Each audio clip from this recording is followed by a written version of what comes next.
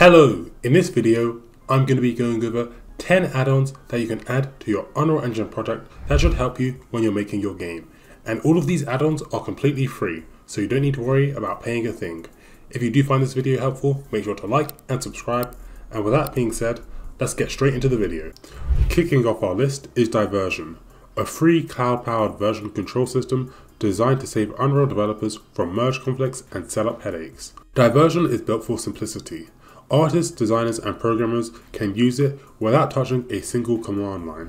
I even made a tutorial video where I go over how to set up and use Diversion to have version control for your project. I'll make sure a link to it appears somewhere on the screen now. Here are some of the features which make it stand out. Conflict prevention. Diversion automatically soft locks files when you edit them. So if say you're working with multiple teams, it would warn them. That way they don't overwrite your work. Your changes save privately to the cloud and are only shared when you commit. It's Git friendly, so if you already use Git, you can import your repo and keep it synced.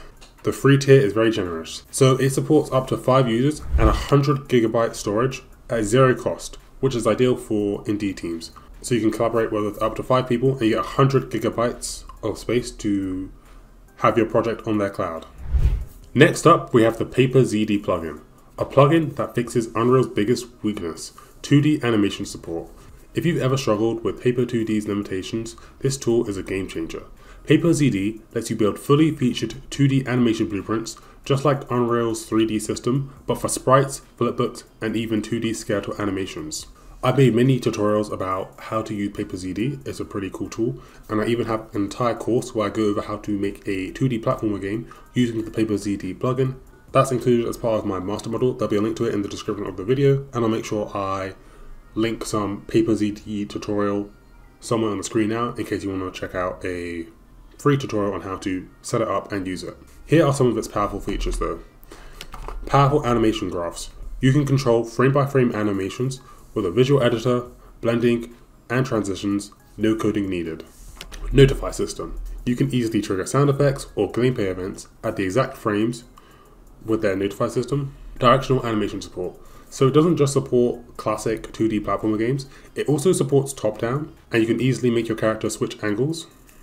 So, bottom line, if you're making a 2D game in Unreal Engine, you need to have the Paper ZD plugin. It's very helpful, and it removes the engine's biggest roadblock about you not easily being able to set up different animations for 2D characters.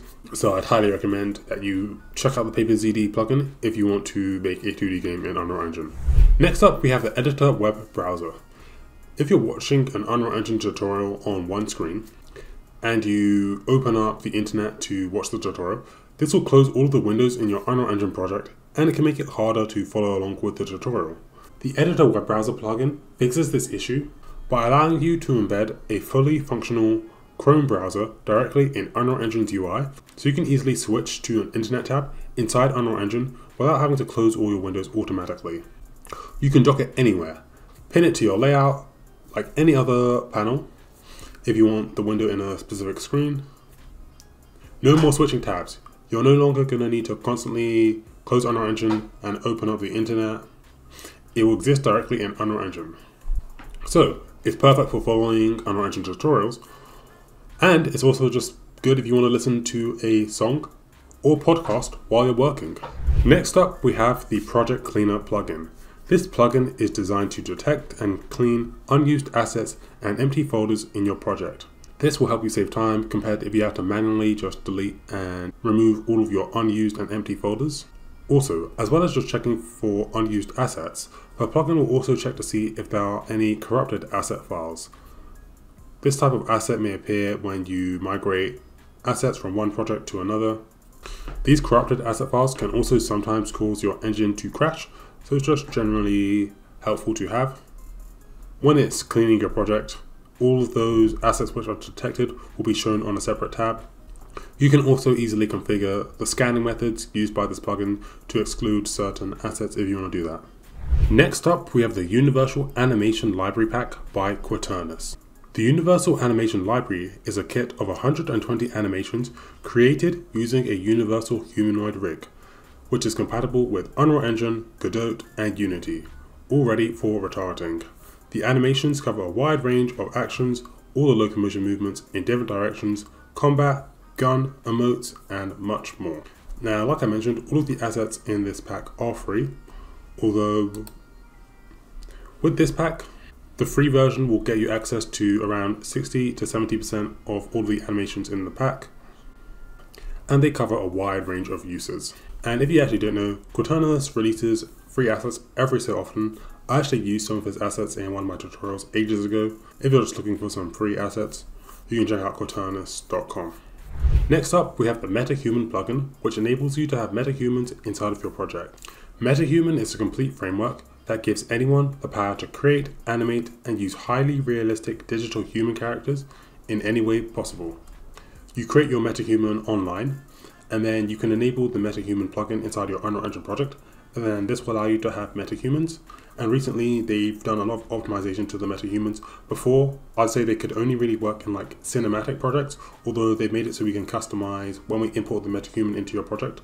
So now it's like a lot more applicable to use in games and things. And recently, in the latest version of Unreal Engine 5.5, they have this feature called the audio to facial animation. And this is a super cool feature. Basically, you can record a line of audio, and then the metahuman will basically, based off the audio you provided, provide a lip sync to the metahuman saying that audio. So if say you're working on a game and you want your characters to actually speak, this makes the process a lot more simple. And it works with multiple different languages. Next, we have modeling mode. Now, this is a plugin that you have to enable inside of the plugins menu inside Unreal Engine. And this basically provides a toolset for creating, sculpting, and editing 3D geometry directly inside Unreal Engine. I actually made a tutorial about this a couple of years ago. I think I should actually update this tutorial because it's had some changes since then. But like I said, this mode will basically allow you to edit things inside Unreal Engine one of the most popular ways that I use this plugin is sometimes when you import a model into Unreal Engine, it just doesn't have the correct pivot point. Now you could go back into your 3D software and edit um, the pivot point of the model, although a much quicker way would be to enable the modeling mode plugin. Then you can actually edit the pivot point of meshes with this plugin, and that can save you a lot of time. I actually made a specific quick tutorial about how to edit the pivot point of meshes using this plugin. I'll make sure a link to that video appears on the screen somewhere now. But in general, the idea behind this plugin is to save you time so that you don't have to constantly go back into 3D software if you want to make changes to a model.